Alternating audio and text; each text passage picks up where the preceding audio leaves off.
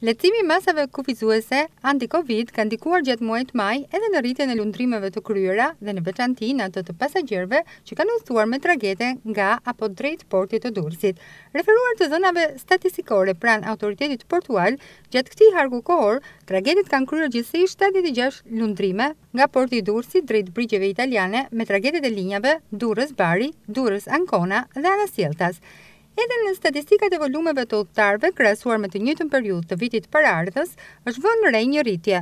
ku shihet se vetëm gjatë majit dy mijë e njëzet e një kanë shfrytëzuar lundrimin me tragete rreth tridhjetë mijë e tetëqind e pesëdhjetë e shtatë udhëtarë, një shifër rreth gjashtë herë më e lartë krahasuar me majin e dy mijë e njëzetës. Kanë qenë rreth katërmbëdhjetë mijë e nëntëqind e tridhjetë e tre udhëtarë që kanë hyrë në vendin tonë gjatë muajit maj, ndërkohë që mbi pesëmbëdhjetë mijë e nëntëqind e njëzet e katër të tjerë kanë shfrytëzuar portin kryesor të vendit për lundrimet drejt porteve të Italisë.